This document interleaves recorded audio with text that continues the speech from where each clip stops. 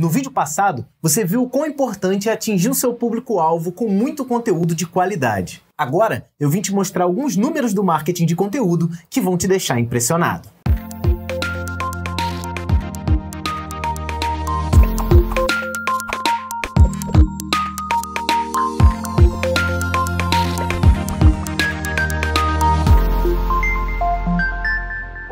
Pequeno gafanhoto! Seja bem-vindo à décima aula do seu curso em vídeo de marketing digital, totalmente ó, patrocinado pela HostNet. O meu nome é Gustavo Guanabara, eu sou seu professor e como eu disse anteriormente, nós chegamos à aula 10 do seu curso de marketing. Cara, a gente viu muito conteúdo até aqui e agora eu vou te encher de conteúdo estatístico, muito número, porque a gente chegou à segunda parte em que a gente vai falar sobre marketing de conteúdo. E eu vou te provar como as empresas podem até estar cientes de que ele existe e até pode estar fazendo, mas não está se preocupando com uma coisa que é muito importante e que a gente vai dar início nessa aula daqui. Apenas dando uma relembrada, a gente falou sobre os princípios, né, sobre as áreas correlatas que a gente vai estudar durante esse curso, e a gente viu lá que tem a marketing de conteúdo, que a gente tem marketing de busca, de ads, móvel, CRM, analytics. A gente vai focar um pouquinho, a gente vai ver uma vai ter uma visão muito abrangente de cada um deles, mas o primeiro tópico, que é aquele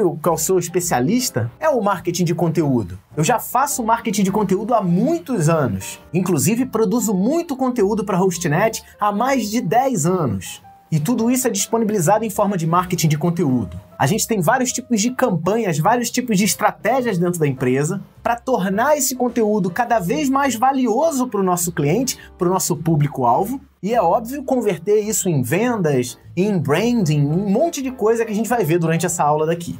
Outra coisa que você tem que lembrar da aula passada, muito importante, um conceito muito importante e valioso. Esse daqui, ó, conteúdo não é gasto, conteúdo é investimento. E não é investimento só de grana, não, é investimento de paciência, de pessoas, né? O recurso humano, o recurso financeiro, a paciência, a estratégia, tudo isso tem que ser investido quando você pensar numa campanha de marketing de conteúdo. Hoje a gente vai falar sobre formatos, o que, que pode ser aplicado dentro da sua realidade, quais tipos de formato você vai utilizar, quais tipos de formato você não vai utilizar, porque nem todo mundo consegue desenvolver todo tipo de conteúdo. Por exemplo, a gente não faz muito conteúdo para Instagram. A gente que eu digo, eu e a galera da HostNet. Mas Facebook, blog, wiki, vídeos, isso tudo a gente consegue fazer. E é muito importante deixar claro, você não vai investir só num formato. Se você decidir um formato só, você está abrindo mão de todos os outros. O ideal é que você faça uma mistura deles. Não precisa usar todos os formatos que a gente vai falar aqui, mas é muito importante que você conheça todos eles. E às vezes uma ação ou outra, você pode usar um formato mais do que em detrimento de outro. Tem formato que funciona melhor para um tipo de situação, tem formato que funciona melhor para outro tipo de situação. Aí é você que vai utilizar a sua sabedoria dentro da sua empresa, dentro do seu projeto, do seu produto ou do seu serviço.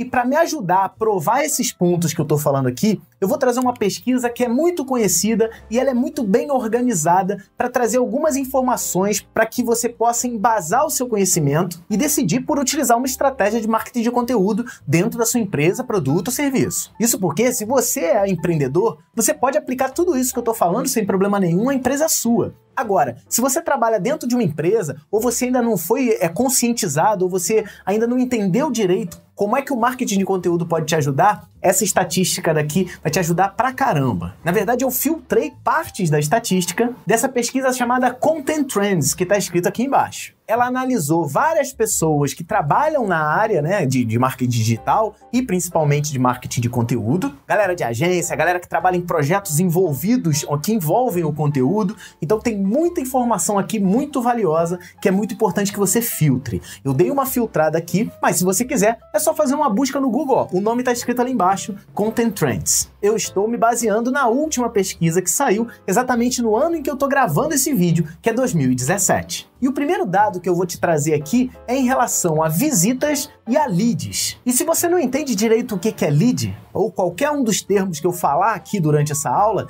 é só você clicar aqui em cima no izinho de interatividade, você vai ter acesso ao nosso glossário. Lá tem a explicação mais detalhada de cada uma das palavras que a gente vai envolver aqui no ambiente do curso em vídeo.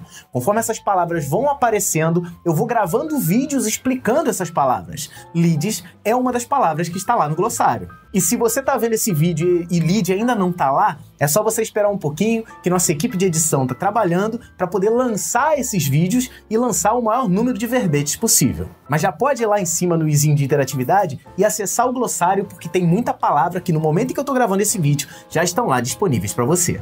Então, basicamente é o seguinte: você tem um site, você tem um blog, você tem um site de uma campanha, né, um hot site, e aí você quer mensurar, você quer aumentar ou você quer né, apresentar o seu site ou o seu produto, alguma coisa assim, e você precisa de visitantes e você precisa que esses visitantes se transformem em leads, se transformem em conversões, você consiga capturar o contato dessa pessoa para que você possa começar um relacionamento mais próximo com ela. Não adianta só você criar um site e não capturar um lead. E não se esqueça, se você não sabe bem o que é um lead, acessa aqui em cima para você ter acesso ao glossário. E segundo a pesquisa da Content Trends, o número de visitas quando você faz marketing de conteúdo direito, quando você prepara uma campanha, quando você utiliza de uma estratégia bem elaborada, você em média tem aproximadamente 2,2 vezes mais visitas do que o normal. E isso sem falar o número de leads, que cresce mais de três vezes se você utilizar uma estratégia bem feita, se você fizer marketing de conteúdo com qualidade.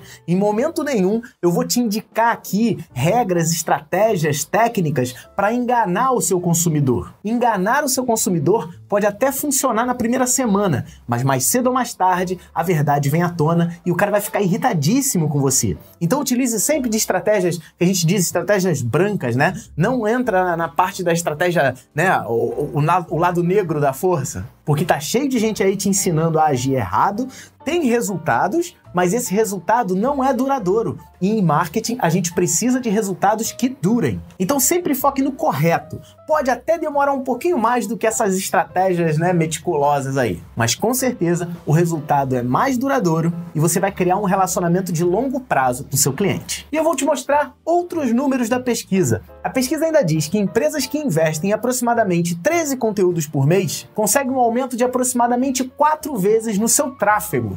E por tráfego, entenda o, o consumo desse conteúdo. Entenda pessoas passando por ali consumindo seu conteúdo. Tráfego quer dizer a quantidade de dados transmitidos num determinado período de mês. E isso daqui é um ganho considerável, convenhamos. E como eu disse anteriormente, empresas estão reconhecendo o marketing de conteúdo como uma boa estratégia. A pesquisa da Content Trends diz pra gente que 71% das empresas estão adotando o marketing de conteúdo. Isso é muito valioso. Empresas estão se preocupando em produzir conteúdo de qualidade para distribuir para os seus visitantes, para distribuir para os seus leads e para aumentar o número de visitas e de tráfego dos seus dados. Só que, infelizmente, nem tudo são flores. Porque olha esse dado aqui, ó. 66,7% das empresas ela, dos 71 que investem, 66,7 desconhecem métricas de novos visitantes. Então o cara ouve dizer que marketing de conteúdo é importante, que ele precisa criar um e-book, que ele precisa criar vídeos, que ele precisa colocar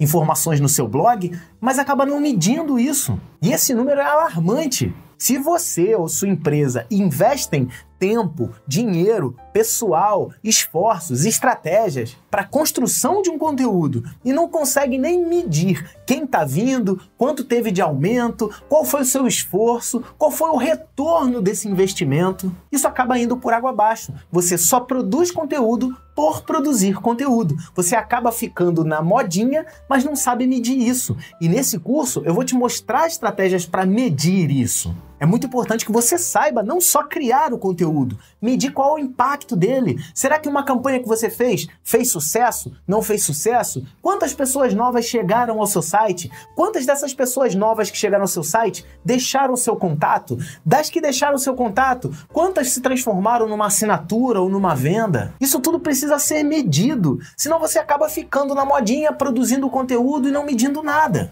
Isso vai afetar diretamente no retorno sobre o investimento, que tem mais uma informação aqui também na pesquisa, que ela diz o seguinte: olha só, 73,7 desconhecem ou não sabem o que é ou então não medem o retorno do investimento das campanhas de marketing de conteúdo. Então, assim, você vai gastar dinheiro? Sim, vai gastar dinheiro. Vai gastar tempo, vai gastar esforço, vai gastar sua paciência, vai investir recursos humanos nisso e não sabe medir o quanto que isso retornou para você. E eu não estou falando só de retorno do investimento, retorno financeiro não. Se o seu objetivo é ter assinaturas, quantas assinaturas a sua campanha de marketing de conteúdo né, converteram? Se o seu objetivo era aparecer para um número maior de pessoas, que número é esse? Quanto aumentou? Quantas pessoas novas chegaram? Se você está, sei lá, fazendo awareness, quantas pessoas já estão reconhecendo a sua marca? Qual é a postura da pessoa antes e depois da sua campanha? Será que você teve um reconhecimento de marca maior? Maior que eu digo, maior do que você tinha antes? Isso tudo tem que ser mensurável. Se você não conseguir mensurar, fica mais ou menos que nem os anúncios da televisão antigamente, como eu tô falando. O cara vai investir milhares de reais numa campanha no horário nobre de uma televisão aberta e não sabe quanto de dinheiro retornou para ele, ou não sabe quanto, qual foi a efetividade desse investimento que ele teve. Então, felizmente, um número maior de empresas está reconhecendo o marketing de conteúdo como uma boa estratégia. A gente viu que mais de 70% das empresas já tem esse reconhecimento, mas infelizmente, mais de 70% não não conseguem nem medir. Ou não conseguem, ou não sabem, ou simplesmente não sabem nem que existe essa métrica. É exatamente por isso que eu estou trazendo essa quantidade grande de dados estatísticos para essa aula. Vamos a alguns números a mais aqui. As empresas, quando elas investem em marketing digital, não, em marketing de conteúdo, né, especificamente, elas têm que construir uma equipe que vá tratar desse conteúdo. Às vezes essa equipe é mista, ela trata de ads, mas também trata de marketing de conteúdo, mas a pesquisa da Content Trends também traz essas informações. Ela diz que aproximadamente, olha lá, ó, 53,6% das empresas, elas contratam entre duas e cinco pessoas para cuidar do conteúdo dentro da empresa. 39% das empresas, que é um número muito grande, só colocam uma pessoa para cuidar de conteúdo. Infelizmente, um número muito pequeno de empresas, apenas 7,4% das empresas, investem em colocar cinco ou mais pessoas na sua equipe.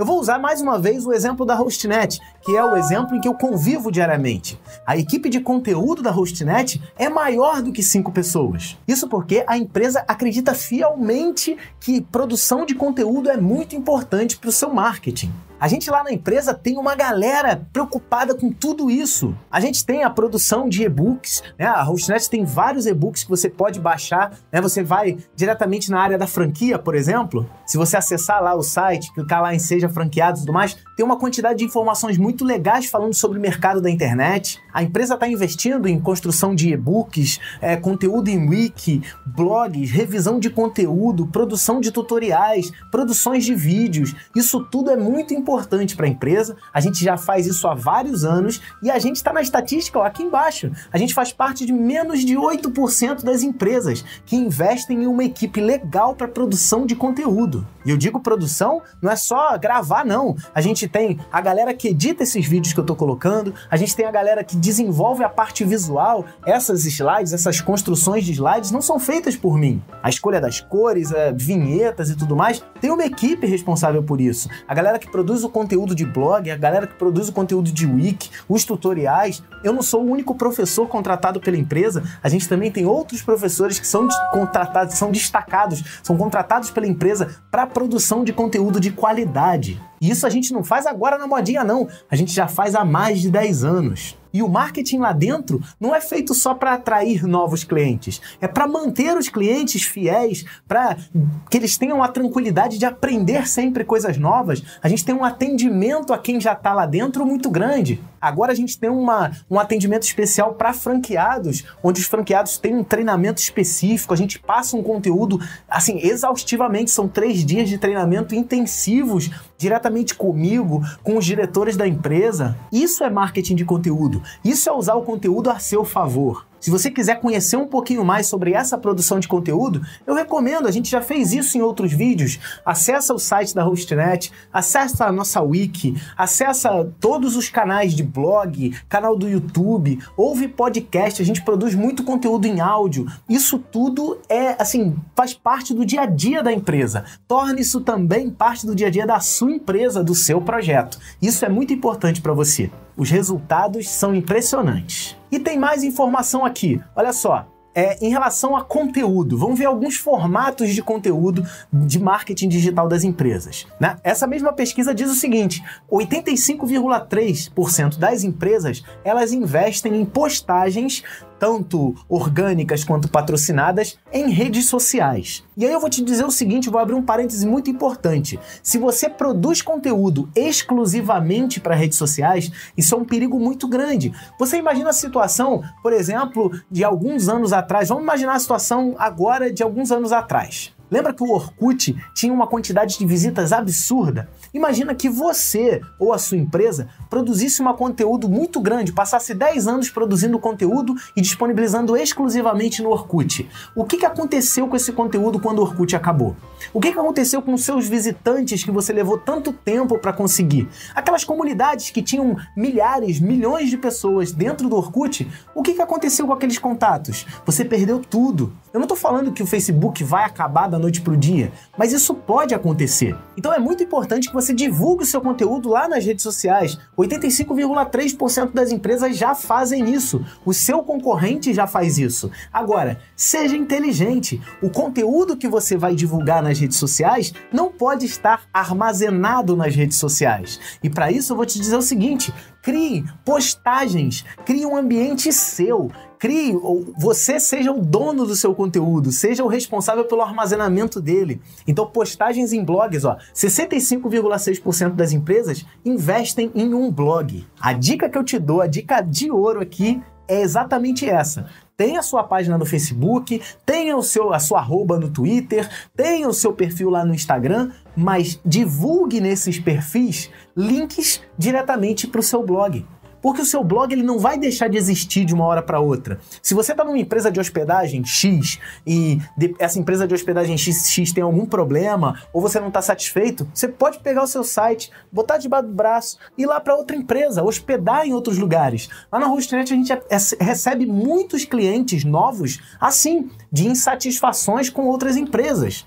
Mas o conteúdo é seu. Muito cuidado com geradores de conteúdo, aquelas, aquelas, aqueles serviços que te dão site muito rápido, que constrói o site em, em dois, três, quatro, cinco cliques, mas o seu conteúdo está preso dentro dele. Provavelmente você assistiu no início desse vídeo, né? E não, não, não é, é uma escolha nossa, é uma escolha da nossa plataforma do YouTube colocar propagandas, por exemplo, da Wix. Eu, particularmente, já fui lá dentro do Google Ads e disse para o YouTube: YouTube, se você puder não mostrar conteúdo da Wix, para o meu aluno, né, para o meu visitante, eu te agradeço. Só que, infelizmente, a gente está numa plataforma gratuita. O YouTube é uma plataforma de disponibilização gratuita. Então eles acharam melhor continuar veiculando esse tipo de propaganda. Mas eu espero que você, meu aluno, tenha o discernimento, tenha a clareza do espírito, tenha a certeza de que você está colocando o seu conteúdo exatamente como se estivesse colocando no Facebook. Se algum dia a Wix falar assim, ó, acabou,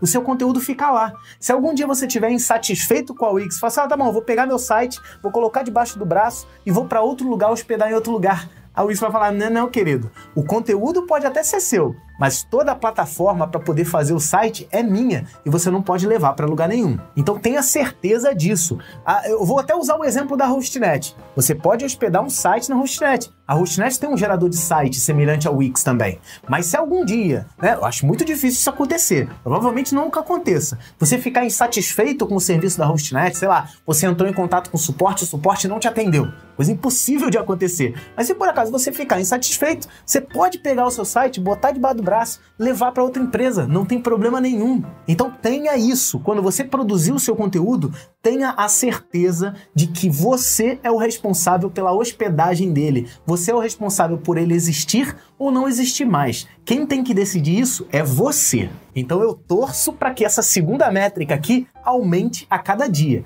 65,6% das empresas acreditam que produzir conteúdo próprio e hospedar o seu próprio conteúdo em blogs ou em sites que estão hospedados e que a empresa tenha o controle sobre o armazenamento disso é muito importante. Eu espero que essa porcentagem aumente logo.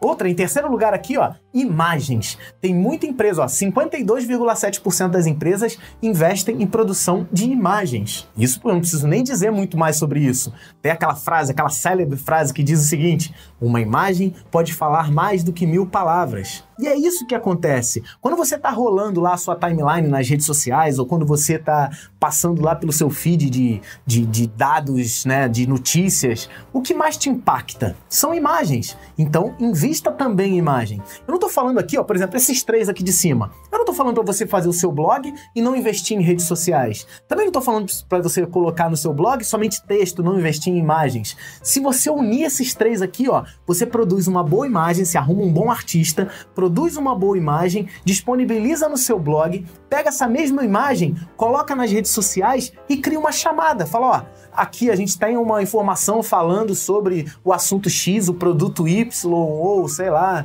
o acontecimento Z. Clique aqui e saiba mais. Isso tudo está disponibilizado e divulgado em redes sociais. Você está utilizando uma imagem muito legal para impactar o seu público e você também está tendo controle sobre o armazenamento disso tudo e levando visitantes que pode capturar o lead, que pode fazer aquilo tudo que a gente está precisando para o seu site. Então una, né? Não é, não é por acaso que esses três estão em primeiro lugar. Eu não mudei a ordem da pesquisa. A ordem da pesquisa é essa. As empresas estão investindo muito em redes sociais porque a divulgação é muito grande né? O público, o seu público-alvo provavelmente está nas redes sociais. Na verdade, todo mundo está nas redes sociais hoje em dia. Bem, esse todo mundo é meio discutível, mas a grande maioria das pessoas elas estão em redes sociais. Então falar com eles é importante. Estar lá é importante. Em momento nenhum eu vou falar assim, não, cria um site, esquece as redes sociais. Não, unifica esses três. Na verdade, unifica os quatro primeiros, ó. Em quarto lugar, com 47,9%, estão os vídeos. Isso aqui que você está vendo. É, disponibilizar o conteúdo em vídeo é muito importante também. O vídeo impacta muito, dá muito trabalho. Hoje em dia, né, os millennials, a nova geração, ela não está querendo muito ler. E se o seu público-alvo estiver dentro desse, dessa galera, né? Se tiver muito millennial, texto incomoda muita gente. E em momento nenhum eu tô falando que eles não leem, eles estão lendo menos. O vídeo impacta muito mais eles. Então invista também. Você conseguiu unificar esses quatro primeiros aqui, você tá com uma estratégia muito legal. Mas eu não vou parar aqui nesses quatro. Vamos continuar. Em quinto lugar aqui, como conteúdo muito investido, em 46%, newsletter. Muita gente ainda aceita e-mail, receber e-mail de empresas. Então é uma estratégia que você tem que se preocupar também.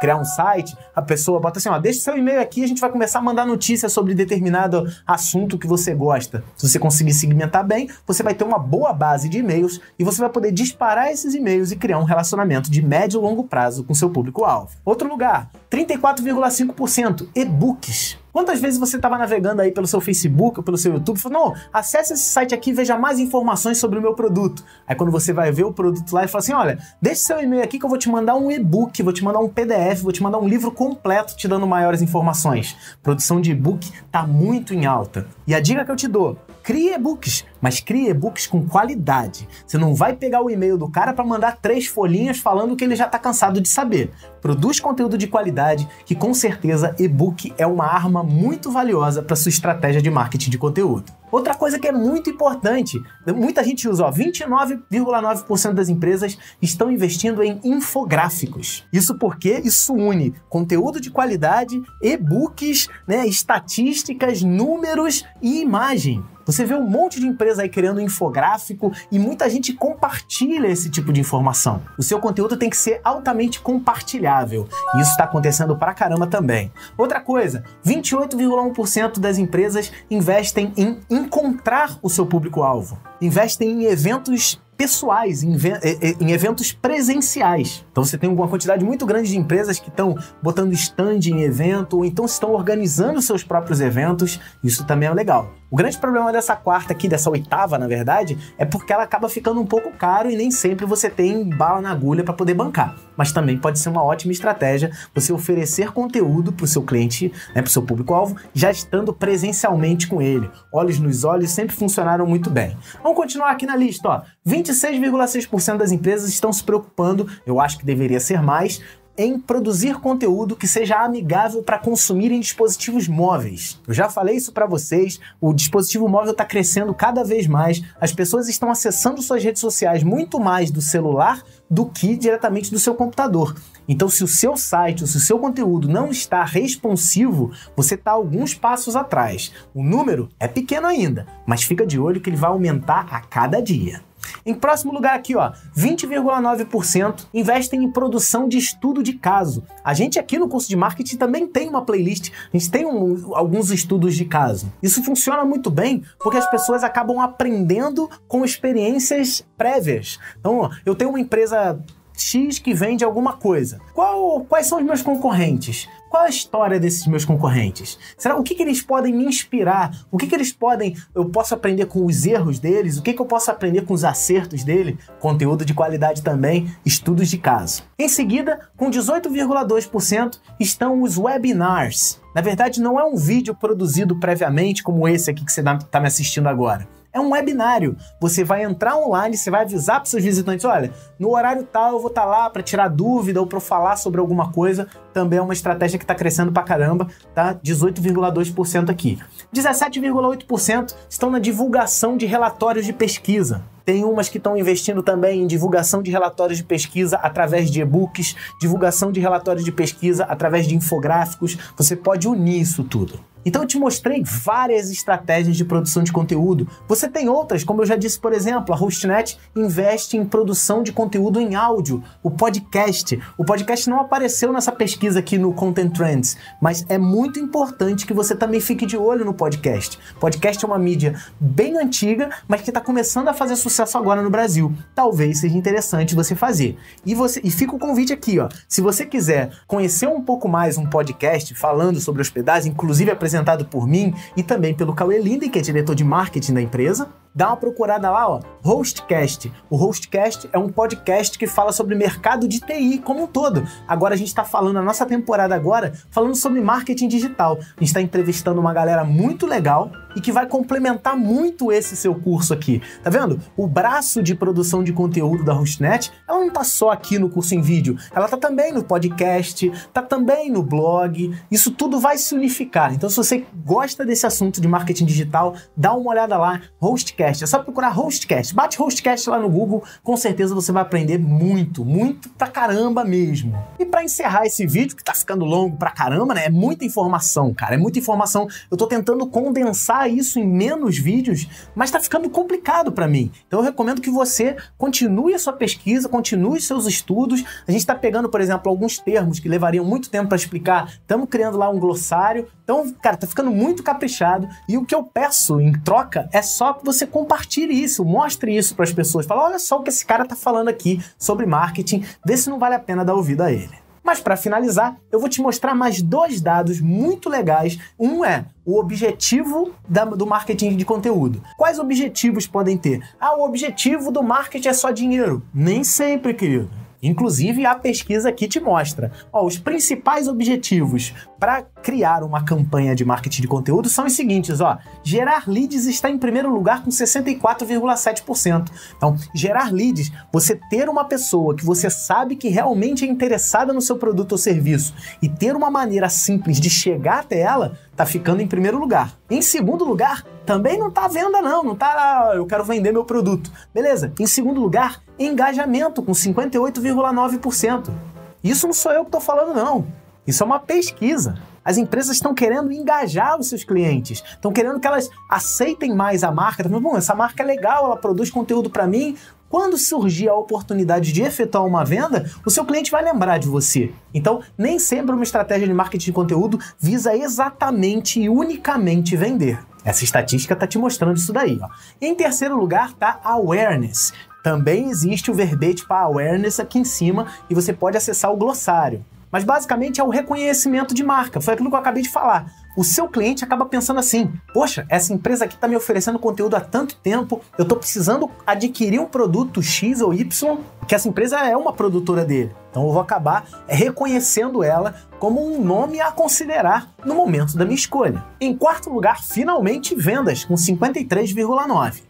O objetivo das empresas com marketing digital, marketing de conteúdo especificamente, também é vendas, fidelização com 47,2, nutrição de leads. Cara, nutrição de leads também é um, é um outro termo que vale a pena um vídeo separado, tá aqui em cima no glossário também. Nutrir seus leads é ajudar o seu cliente, o seu próprio lead, né? A pessoa que você conseguiu capturar o contato, a continuar considerando a, a, possibilidade de comprar, de assinar, de adquirir, de fazer o que quiser, né, dependendo do seu produto. Em penúltimo lugar ali está Upsell com 7,1, também vou colocar o verbete aqui em cima e outros 0,8. Então, ó, dá uma olhada aqui e vê quais são os principais objetivos por quem cria uma campanha. E é muito importante, como eu disse anteriormente, você conseguir mensurar isso tudo. E o que, é garantia de sucesso? Quais são as métricas de sucesso? Na pesquisa também está dizendo. As métricas de sucesso é, as empresas consideram uma campanha uma campanha de sucesso quando elas aumentam, em primeiro lugar, o tráfego, depois a conversão. Eu não vou ficar falando números, você está vendo aqui do lado. Elas também consideram muito o aumento de leads, o aumento de vendas, o, aumento orgânico das visitações, o seu SEO, a posição da, da sua empresa, do site ou do perfil diretamente nas redes sociais, a posição da sua empresa, do seu serviço ou do seu perfil diretamente nos mecanismos de busca. Como eu já falei um milhão de vezes aqui, os dois maiores mecanismos de busca atuais são Google e YouTube. Você precisa estar na primeira página nesses dois se você quiser ter sucesso. Então o resultado orgânico é muito importante também. A qualidade dos seus leads não adianta ter quantidade de lead. É muito importante que você se preocupe com a qualidade do seu lead. Você está precisando capturar é, informações de um determinado perfil. A gente vai falar um pouco mais sobre isso no próximo vídeo. Será que esses perfis que estão vindo estão dentro daquilo que eu estava esperando? Isso é qualidade de lead. O tempo de visitação no site, será que as pessoas ficam até o final do vídeo para ver? Você está até esse momento vendo o vídeo com atenção, tudo bonitinho? Ou você está com outra aba? Ou você viu só os primeiros cinco minutos do vídeo e foi embora? Isso tudo é muito importante. Quantidade de assinaturas, se você trabalha por assinaturas, links inbound de pessoas falando sobre o seu é, produto ou serviço em outro outros sites e outras informações. Então, segundo a pesquisa, o sucesso de uma determinada campanha é dado através dessas métricas aqui. Ufa! E aí? Você conseguiu entender todas essas informações? Então, olha só, o que fica de lição é muito importante o marketing de conteúdo. Um número muito grande de empresas está acreditando no marketing de conteúdo, mas infelizmente elas não estão medindo resultados como deveriam. Te mostrei aqui vários formatos para você investir, redes sociais, seu blog, seu site, vídeos, podcast, é, newsletter, te mostrei várias formas de conteúdo que você pode produzir dentro da sua campanha, te mostrei quais são os seus principais objetivos dentro de qual você vai se integrar, como organizar a sua equipe, como é que você mede o sucesso, mas eu vou te dizer, nada disso aqui vai servir se você não preparar uma estratégia para poder atingir o seu público-alvo. A gente vai falar no próximo vídeo sobre público-alvo, sobre persona, sobre pontos de funil, sobre estratégias. Então a gente vai traçar uma estratégia para que você tenha um grande sucesso dentro da sua campanha. Eu vou te dar dicas para que você possa organizar a sua campanha de marketing de conteúdo e fazer bonito aí na internet. Mas isso tudo a gente vai ver no próximo vídeo, na aula 11 porque essa aqui, infelizmente, chegou ao fim. E eu deixo para você um trabalho de casa, como eu procuro fazer em todo vídeo. Coloca aqui nos comentários que tipo de estratégia você vai utilizar. Ou que tipo de estratégia você está utilizando nesse momento. Que tipo de conteúdo você está produzindo. A sua empresa ou você mesmo está conseguindo monitorar resultados? Ou ainda, se você não está fazendo, se você não está na empresa, que empresa você acha que faz bem marketing de conteúdo? Que tipo de formatos ela usa com qual maestria? Você fala, ó, eu gosto muito da campanha da marca X porque ela faz vídeo legal. Eu gosto muito da marca Y ou do produto Z porque ele me manda newsletter. Que tipo de conteúdo te impacta mais? Qual deles você acha importante que as empresas produzam? Participa aí, coloca nos comentários que a gente está sempre acompanhando. A galera do marketing da Hostnet está acompanhando pra caramba o que está sendo escrito nos comentários. Eu mesmo fico vendo os exercícios de vocês, eu fico extremamente feliz. E se prepara, porque na próxima aula vai ter um exercício muito maneiro para você fazer. Mas vai fazendo esse daqui, porque esse daqui vai te ajudar pra caramba no próximo. Outra coisa que você tem para fazer em casa, trabalho de casa. Visite o site da Hostnet, visita o canal do YouTube da Hostnet, visita o podcast da Hostnet, visita a página de franquias da empresa, dá uma olhada em como é que a empresa oferece conteúdo para você. Dá uma olhada em como é que o conteúdo é organizado. E sinta-se à vontade para fazer igual o que você gostar e fazer diferente aquilo que você não gostar. E se por acaso você quiser dar críticas, sugestões, dizer qual foi a melhor maneira que te impactou, Sinta-se à vontade, a casa é sua. Então é isso, pequeno gafanhoto. A gente se vê na próxima aula, que é a terceira parte do curso de marketing digital que vai falar especificamente sobre marketing de conteúdo. Essa série tá muito legal, ela me dá um orgulho muito grande e ela tá sendo feita com todo carinho para você. Eu queria mais uma vez agradecer aqui, ó, a Hostnet Hospedagem de Sites pelo patrocínio constante aqui no curso em vídeo. Sem vocês, meus queridos, nada disso seria possível. Eu me despeço por aqui, faz os estudos, faz o trabalho de casa que eu sugeri e a gente se vê no próximo vídeo. Um forte abraço e até a próxima!